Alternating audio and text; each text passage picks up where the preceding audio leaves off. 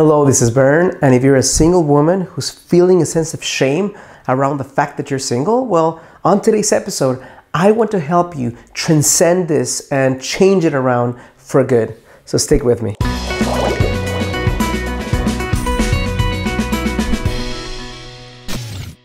Hello, this is Bern. Welcome to your greatlifetv.com, a space where I share with ambitious, heart centered, driven, and conscious women how you can create the relationship of your dreams and without gimmicks, without manipulation, without any crazy, stupid techniques as a result of you staying into, stepping into your most alive, most vibrant, and most feminine version of yourself.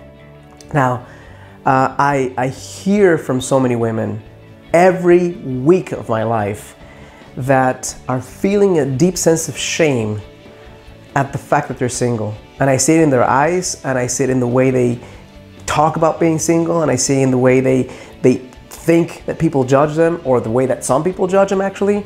And it just breaks my heart to pieces to actually know that you can be walking around feeling like there's something wrong with you or you're less than as a human being because you haven't found the right partner.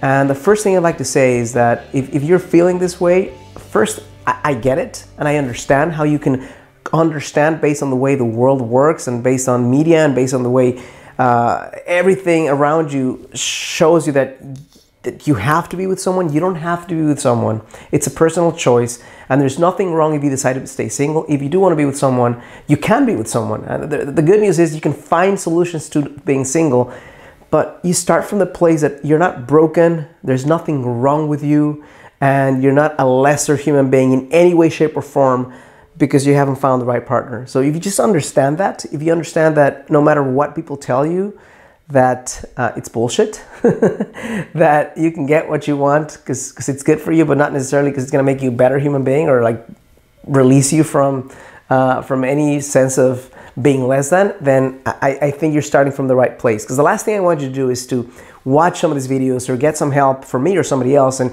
and get what you want, mainly because you want to feel like you fit in uh, that's the worst possible reason to step into a relationship and one that will probably create a lot of pain long term.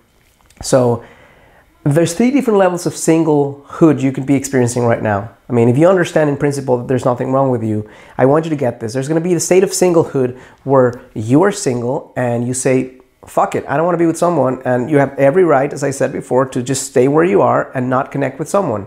That's one state of being single. There's a different state, which is where you feel like you want it, but you're not doing what you can do to create it. You're kind of saying, let's see what happens. I'm going to wing it. Uh, it should happen naturally. Uh, I shouldn't have to put effort into this, which I think by now you probably start recognizing that if you don't put any real specific effort, it's probably not going to happen at all that you want to. So second one, second, first one is I don't want it. Second step is I want it. I wish I had it. And the third step is I'm committed to getting it.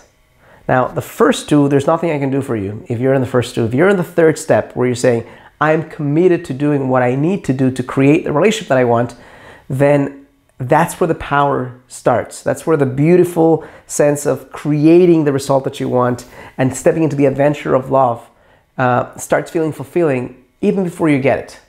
Because the thing here is, I want you to get a few things, and I'll just start out five things I want you to get in terms of uh, this single state that you're in right now. Not settling for a guy who is less than you expect is not a flaw, it's a virtue. if you're one of those human beings who are saying, you know what, uh, the options that I've seen so far are not the ones that I want, and I'm unwilling to settle, or I've settled in the past and I made a promise to myself that I'm not going to settle in the future, I want you to understand that a lot of people are going to view being with someone higher up in the hierarchy as being single and being with someone for a long time as being even higher than being with someone for a short time. But this scale is so bullshit, and here's why because you could be with someone for 30 years and it's the wrong person, and you're basically afraid, and lack of your, your fear and lack of courage prevents you from leaving that human being. But here you are in society size, uh, higher up in the totem pole, just because you just didn't commit to leaving someone that's not good for you.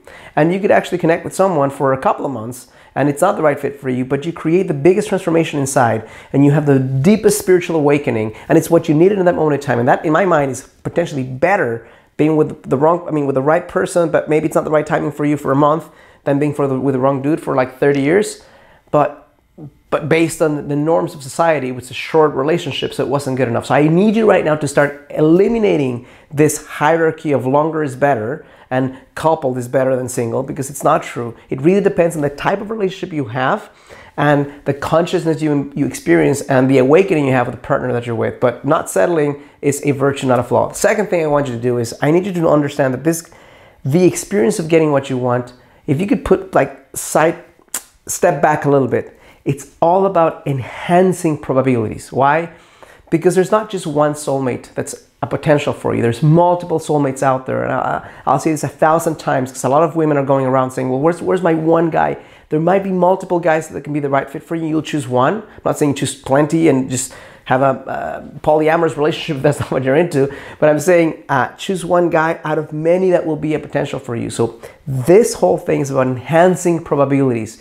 How do you enhance probabilities? You enhance probabilities first by understanding, having a clear sense of what you want. Number two, by being a resonant match to that which you want. If you want to level 10 and you're stepping into level 2, I've said this in other videos, it ain't gonna happen, right? But if you want somebody who's strong, masculine, he has his shit together, he knows what he wants, he's pursuing you, then show up open, vulnerable, magnetic, connected to your inner fire, attractive that way from the inside out, shining your light from the inside out. Then you're enhancing probabilities. How do you enhance probabilities?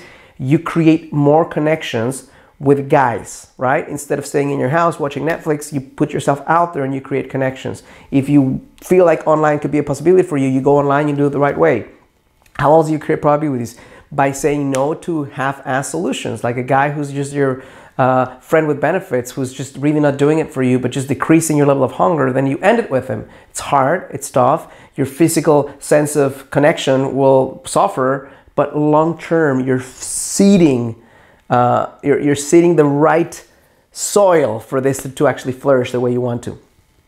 Uh, third thing I want you to know that can enhance this feeling of being grateful at the fact that you're single right now is that I want you to take this process of embodying and finding, embodying your greatness and finding the guy that you want as a spiritual evolution. What does that mean? That means that if you're only measuring this based on the end result, you're to miss out on so much of what's beautiful, what's necessary, and what's meaningful about finding a partner, which is who you become as a human being, how your heart opens, how clear you get, how you set boundaries, how you relax into your body, how you let go of excuses, how you learn to be present. There's so many different beautiful and necessary for your human spiritual evolution experiences that you'll have uh, through the process of finding your soulmate that if you just focus on the end result, you're not going to enjoy or witness or appreciate who you're becoming and you're missing the game at that point. The fourth thing I'll say to you is I need you to stop black and whiting it. What does black and whiting it mean? I mean, people look at this as black and white, right? I'm doing all this stuff and my guy hasn't arrived, so I'm failing. That's the black and white situation. And I want you to sense like you could have two women on the same room, both single, one is expressing her light, sharing her magic, connecting with men, enjoying the process, and she's maybe a month away from finding what she wants. And you have another woman who's also single and is not doing anything to make it happen and is closing up and is basically developing beliefs that all guys are bad and all, all just the opposite of what this woman A is doing. Now, both are single, but it's not the same thing. If you black and white it, you're going to say, well, both are single, so both have failed right, to get the results. But one is on the process of getting it. The other one is nowhere near what she wants.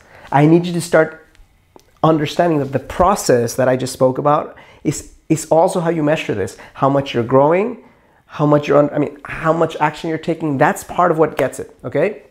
The last thing I want you to do is I want you to own your path you will have friends who got married at 20 and they're super happy for the rest of their lives. And you'll have people who maybe have children before you do it.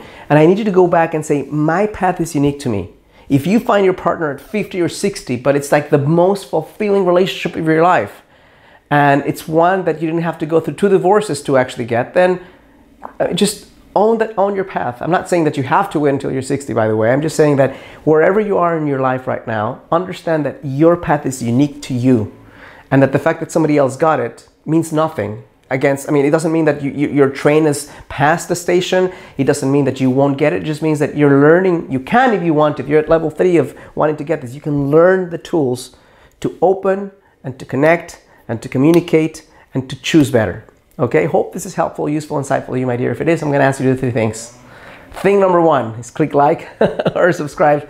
Uh, uh, thumbs up. I'm sorry. Like or thumbs up to this video thing number two is uh, subscribe to my channel be part of this movement uh, where I share more ways for you to get what you want. And you can even hit the little bell if you don't if you want to be notified of new episodes and not miss out.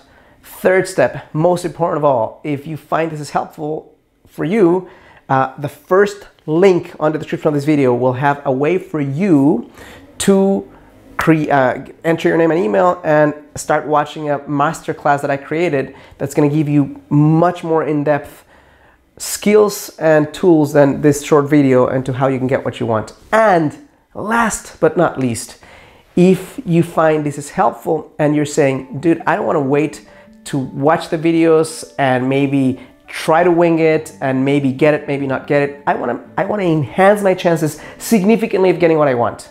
And I want your specific help to do it. I've helped thousands of women to get what they want and if you want my help in doing so, what I'll do is I'll put another link under the description of this video that will allow you to submit an application. I'll read it personally. If I feel I can help you, my assistant will reach out to you and schedule a time for us to connect. And if we hit it off and I feel I can help you, I'll offer you a spot in my program and we can start working together to get what you want. If I don't feel I can help you, then uh, I'll let you know as well.